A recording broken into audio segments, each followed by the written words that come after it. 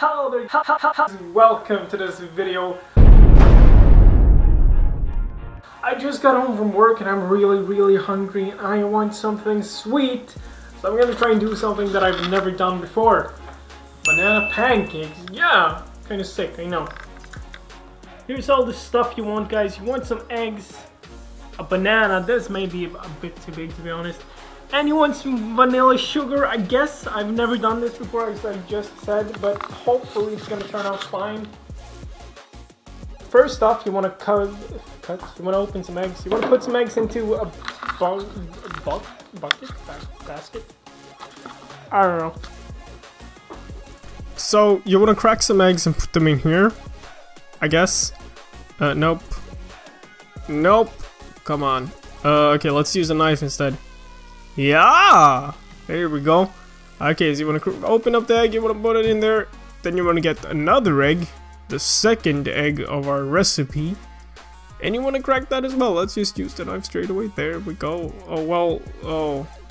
No, the shell cracked too much. No. Oh, come on. Come on, don't fall. Oh, there we go. We got it. No. Oh, come on.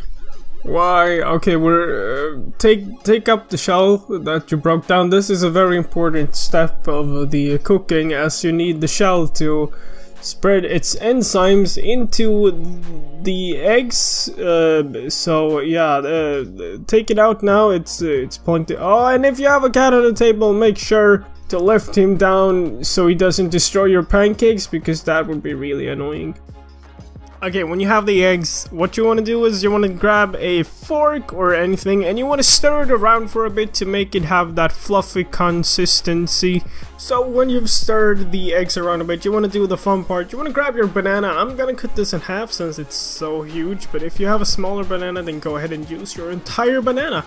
After you've uh, cut it or whatever you do, peel it because you don't want any banana peelings in your cakes because that's weird cut it in smaller pieces or do whatever you want. Uh, we're actually gonna try and mush this down and I was stupid enough to try and use my knife for this. As you can see, that didn't really work out.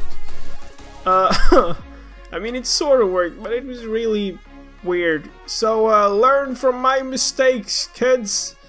Make sure to use something mushy, like a, a fork, for example. Yeah, this should work. Oh, so much easier. Look at this. This is the way to mush your bananas. If you have any other way, then tell me in the comments. I... I don't know.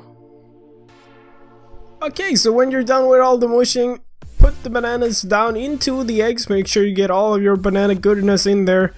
And then go crazy and stir it around. You want to stir it all the way until you can't really like find the banana pieces I guess I'm I mean I've never done this before so I'm, I'm just pretending that's how you do it. I don't know.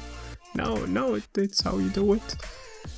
Anyways you can either use a knife or a, a fork a knife that's kind of weird. Or if you're smart like I was you can get a uh, stirrer like uh, this one. Yeah this one. Look at this. I'm so smart. This is gonna be way simpler than using a knife. But I mean, yeah, if you only have a knife or uh, a fork, I'm, I'm, stupid. If you only have a fork, then use the fork. But yeah, spin this around, stir it until it's like only one big watery mess. oh, I'm so I'm so bad at this commentary stuff. Uh, anyways, you can see here it's, it's almost it's almost done. Okay, so when you're done with the stirring, you want to add some vanilla sugar or whatever it's called. I, I don't I don't really know. And you want to use like a tablespoon-ish. If it's really clumpy, you might just need to like, I don't know, destroy the clumps. Is, is clumps a word? I don't know. but yeah, you want to take like a, uh, a tablespoon of vanilla sugar or something else that is sweet and continue the stirring until you can't really see the sugar in the mixture anymore.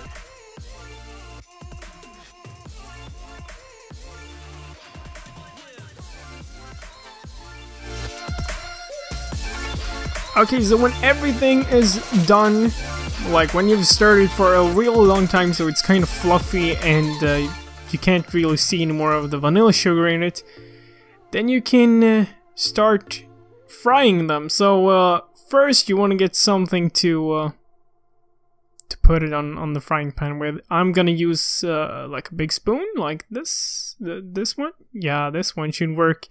I can get some nice amounts of uh, banana pancakes with this, so uh, this is gonna be nice.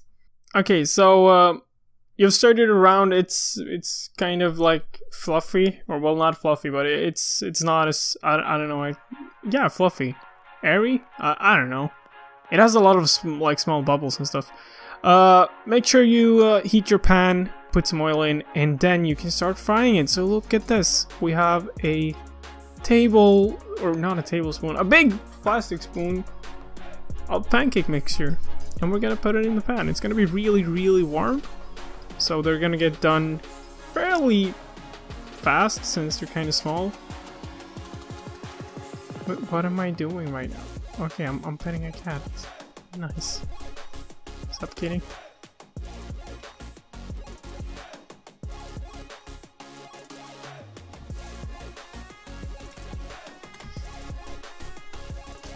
Okay, and okay, so uh, the no, fuck.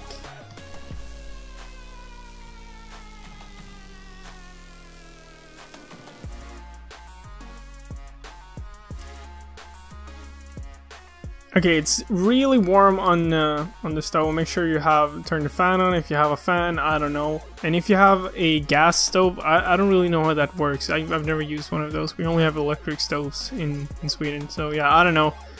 Um, warm warm fire, I guess. Warm flames. Uh, I don't know. Anyways, you want to grab something to. Uh, to uh, flip the pancakes with. I have this super great spoon, so I'm gonna clean that and I'm gonna use this.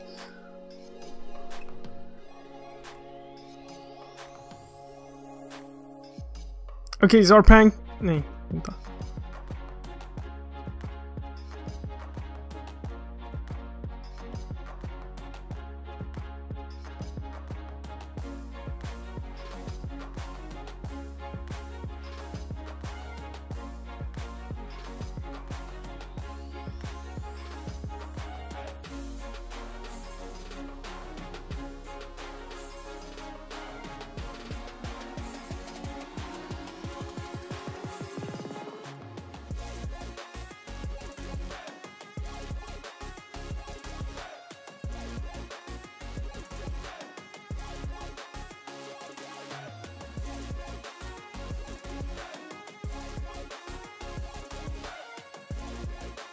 Okay, so our pancake is getting warm now. We have something to flip the pancakes with. And look at this.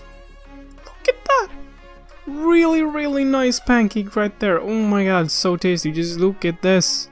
Yum. Uh, you can turn down the heat a bit because having it on the max heat is probably overkill. They're really tiny, like they're really flat, so they're gonna be done really fast. So yeah, turn it on to the highest heat to make the plate or the plate, the pan warm, and then you can turn it down a bit. Very educational. That I'm, I, mm, mm, I'm so smart. Okay, so you can see here when the pancakes start to bubble, that means they're ready to be turned. Because uh, I don't know, that's just how cooking works. I'm, I'm not gonna explain the chemistry behind it, but I, I it's just a gut feeling. Look at this, it looks so good. Mm -mm -mm. Just listen to TJ Senpai and I'm, I'm gonna teach you everything you need to know. Look at these pancakes. Yummy. Yummy, yummy, yummy. Here we have some really nice pancakes that's it for this episode, guys. I'm gonna eat these now. They're probably gonna be really good. So yeah, thank you so much for watching. Really hope you enjoyed. And as always, I'll catch you in the next one. Bye.